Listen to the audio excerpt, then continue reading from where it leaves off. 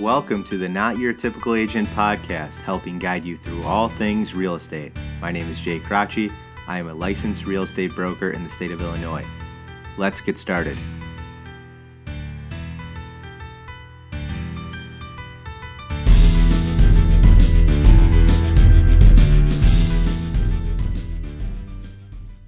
A couple weeks back, I was at a home inspection with some close friends.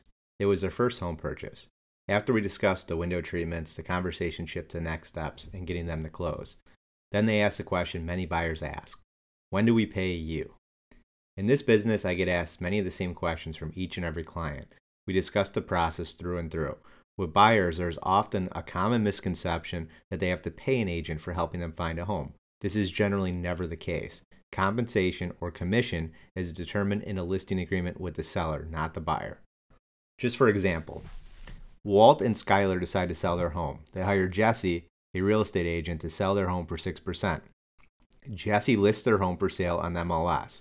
During that time, Jesse offers a percentage of the 6% listing commission to other agents. Gus works with a buyer who decides to purchase Walt and Skyler's home. At closing, Gus's brokerage receives 2.5% of the representing the buyer, and Jesse's brokerage receives 3.5% for representing the seller, totaling the 6% that was agreed upon at listing. These numbers represent how a traditional real estate transaction works. The listing broker generally receives a higher percentage of the commission to cover the marketing expense of a property. All of this, however, is decided at the time of listing between the seller and the listing agent, meaning the buyer, who is not part of those discussions, pays nothing. With a non traditional real estate transaction, such as an auction property or an investment purchase, the buyer may have to pay a specific percentage up front, often referred to as a buyer's premium. This, however, is the exception, not the rule. So, my advice to anyone looking to purchase a home work with a reputable agent. They'll make the process way simpler and it doesn't cost you anything more. Thanks for listening.